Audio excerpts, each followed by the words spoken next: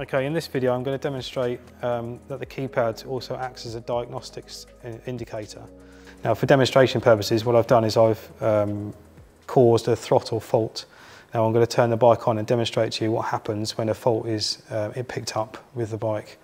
Um, so to do that obviously I need to turn the bike on and you'll notice straight away that it's now bleeping to indicate that it's picked up an error. It's also showing me the spanner to say that there's a fault somewhere in the system. Um, and now what it's doing, the keypad is now telling me what that fault code is. So for, for this video, you can see it's 413. Now from that list, I can then look to see what that issue is. I know it's the throttle because I've, I've caused that issue.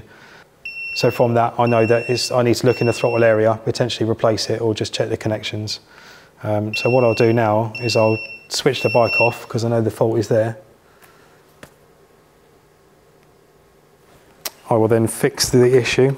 So I'm replacing the throttle and then reconnecting it.